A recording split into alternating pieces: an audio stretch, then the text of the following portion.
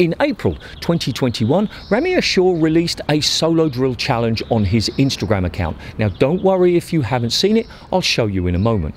In this video, I'm going to show you how to do the drill. I'm going to break it down into smaller parts and I'm going to show you some progressions that you can work through. However, after having watched this video, I do not guarantee that you'll be able to do the drill because it is difficult. It's not as difficult as a figure of 16, which is a figure of 8 on the front wall, and then you turn and you do another figure of 8 on the back wall, and then you turn and you do a figure of 8 on the front wall, and so on. But that is a video for another day. Now, I call these types of drills NDRs non direct relevance because none of the shots that you play in these types of drills will ever be played in a real match. But the ability to consistently control the ball is always worth developing. And of course, they can be fun. Now, I've always got my three reminders, which is number one, heat up properly. You should be sweating before you even hit the ball. Number two, wear your goggles. If you don't wear goggles, I highly recommend getting them. Now, if you're watching this during the pandemic and like me, you actually have to wear a mask when you're on court, you could try some surgical tape. And number three, use the right ball. Now, don't use a double yellow dot just because the more advanced players do.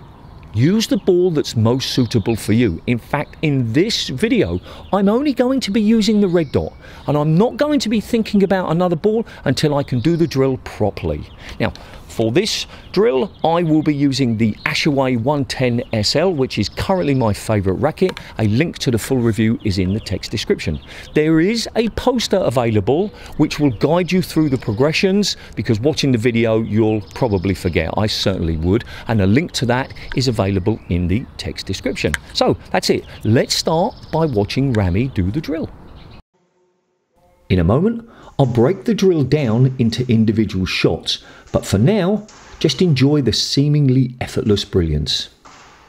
Wearing a cap and jeans is not part of the drill, it just adds to the casualness. Ramy completes 52 shots with no mistakes.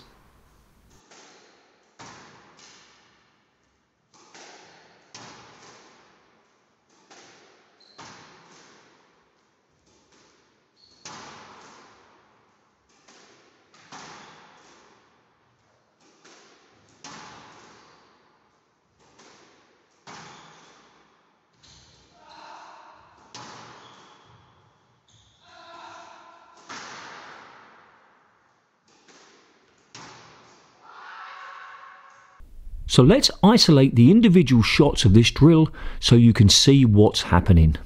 The first shot is a backhand to the front wall. It is then hit at the back wall before it bounces. When it comes back off the back wall, a backhand is hit at the side wall. It travels across the court and hits the other side wall, coming back to the player, who then hits a forehand to the front wall. It is then hit at the back wall before it bounces when it comes back off the back wall, this time a forehand is hit at the side wall. It travels across the court and hits the other side wall, coming back to the player, who then hits a backhand to the front wall, and we are back to the beginning. That's the theory. Although Ramy did hit a forehand where he should have hit a backhand in a very neat piece of adaptation. Here are all the shots overlaid on the court.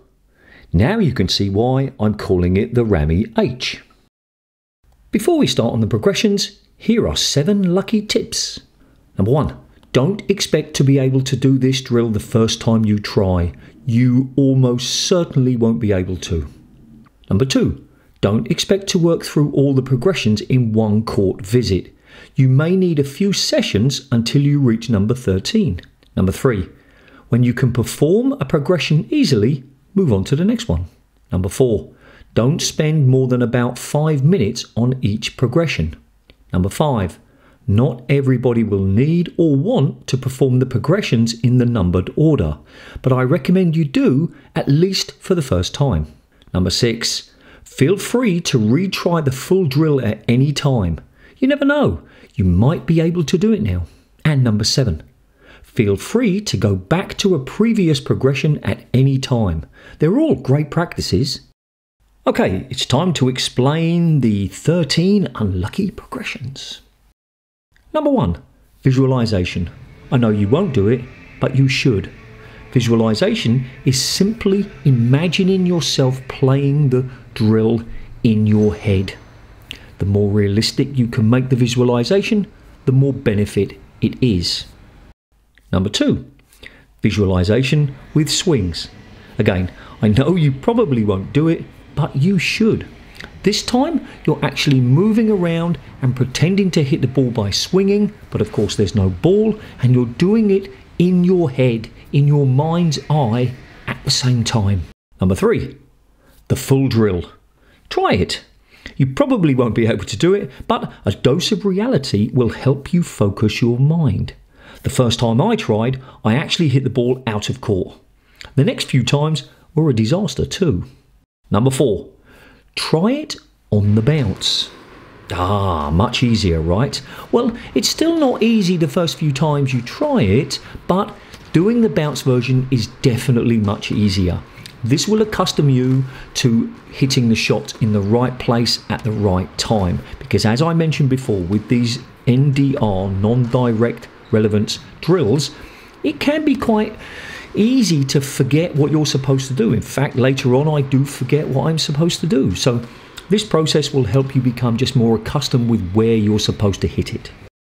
Number five, modified side to side bounce. Now, if you've watched any of my videos before, you know that I heavily promote the side to side. But this is different. You're not hitting at the side wall and then it going across. What you're doing is you're hitting it in the same direction that it's moving. Now, you're doing this on the bounce. Number six, modified side to side. One volley, one bounce. So you can see that I'm hitting the forehand volley and then the backhand is a bounce. And then I will need to practice a few of those and then I'll need to swap sides. I'll need to do the backhand volley with the forehand bounce. Number seven, the modified side to side, but this time it's volley only. Now you don't actually need to do this in the routine but the timing of being able to hit the ball in the same direction that it's moving is very, very valuable for this routine. Hopefully, I make it look quite easy, but actually, it's not that easy. I suspect this will be the first point that people will begin to struggle. Number seven, front wall to back wall on the bounce. This is essentially as the same as number five, where you're letting the ball bounce, but you're hitting it in the same direction that it's coming. It's not particularly difficult, but because you're now going front wall to back wall, that can add some uh, complexity.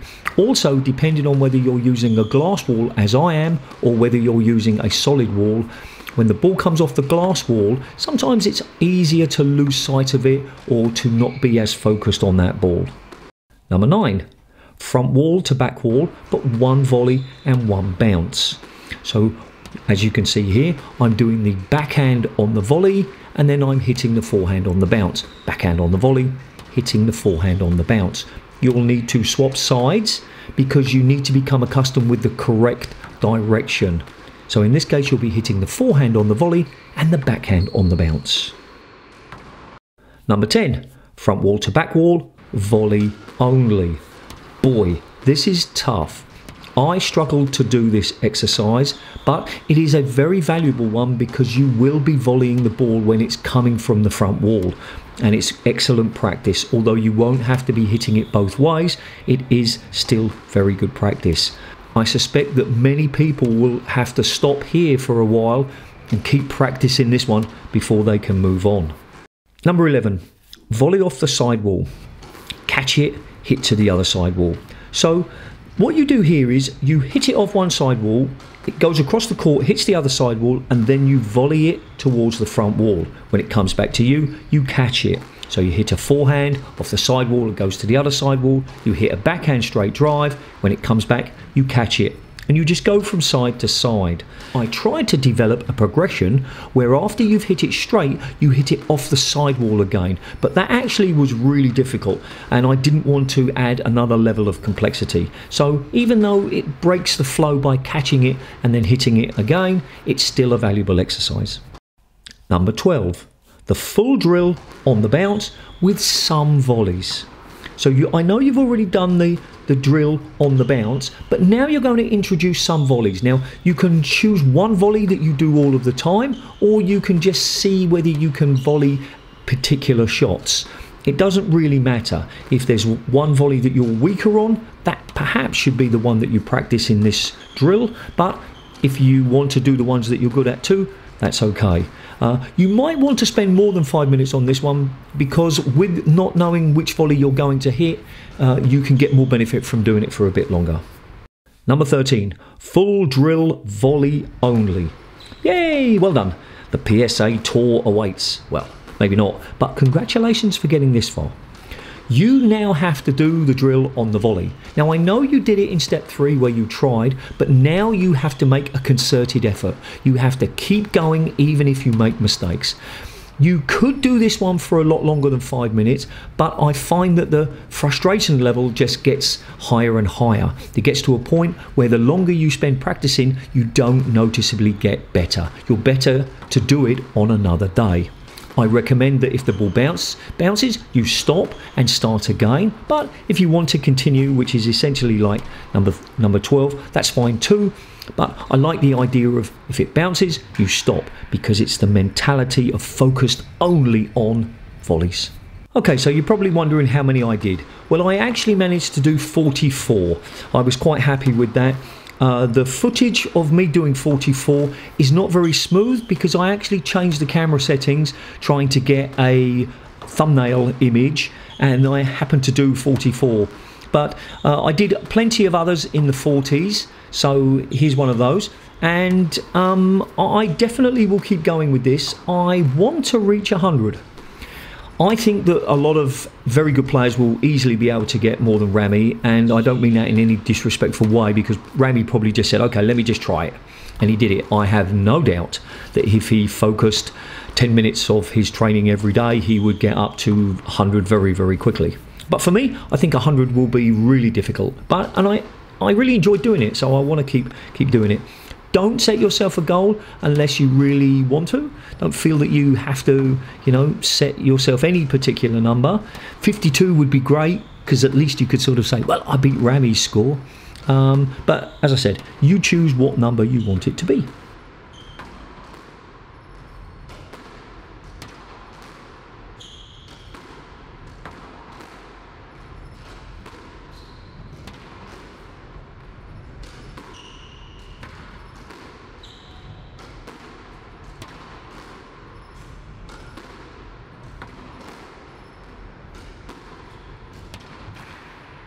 Okay, so I'm recording this outro before I've even done it. Hopefully, I've managed to do something similar to what Ramy did, but more importantly, I hope that I've given you some tips and some ideas on actually being able to do it yourself. If nothing else, I hope you had a bit of fun watching me really try and probably fail. And remember, do something every single day to improve your squash. See ya.